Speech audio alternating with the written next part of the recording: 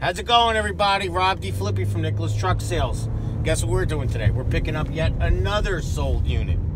Another sold unit to our big fleet customer. And we're at Morgan right now, picking it up. We're about to pull up to see, let's try to find this truck. Matt, Matt is my cameraman today. We're gonna go to this first row. We're gonna see if we can find this truck that we're, we're picking up. Let's see. Take a look. See, start filming. MTL1. So we'll be in this row right here on the right. We'll be in this row, I hope.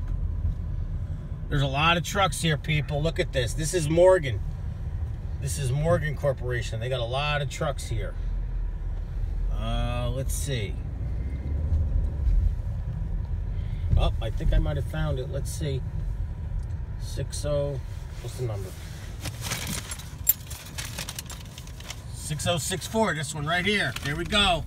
We got ourselves a winner.